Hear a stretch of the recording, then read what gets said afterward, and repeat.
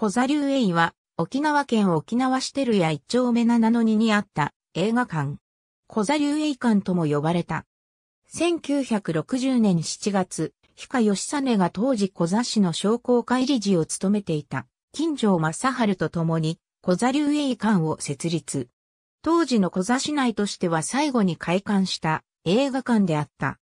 開業当初は第二東映の専門館だったが、その後は各社の邦画を中心に上映。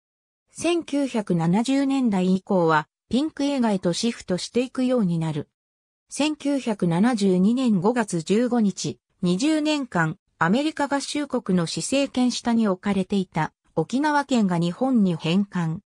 1974年4月1日、隣接した三里村との合併により沖縄市が発足したが、これに伴う館名変更は行われなかった。2010年代に入り、映画業界は本格的なデジタルシネマ時代に突入。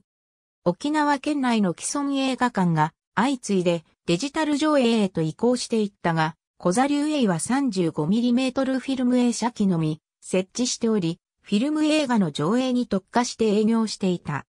なお、小座流映の再生を目指した銀天街方面の街づくり計画が2014年7月23日の沖縄タイムスで報じられたが、結局実現することはなかった。開業から半世紀以上を経て老朽化が進んだこともあり、2016年7月31日をもって閉館。建物は1年後に解体され、更地となった。